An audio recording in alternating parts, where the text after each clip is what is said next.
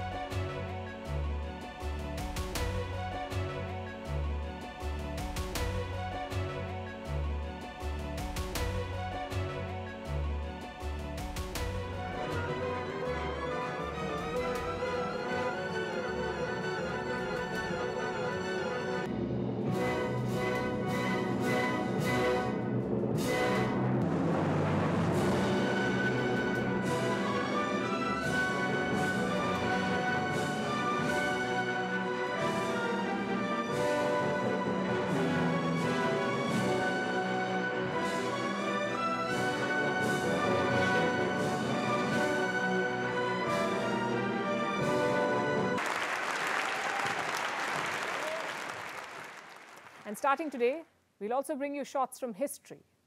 We're taking you back in time.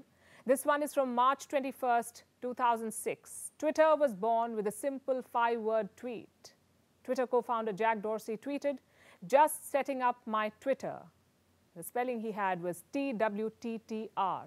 He took the vowels out of the word. Very early 2000 of him. Another fun fact Twitter was originally a side project. So, for those of you in college, take your project seriously because you never know. One day Elon Musk may want to buy them. We leave you on that note. Thanks for watching. We'll see you tomorrow.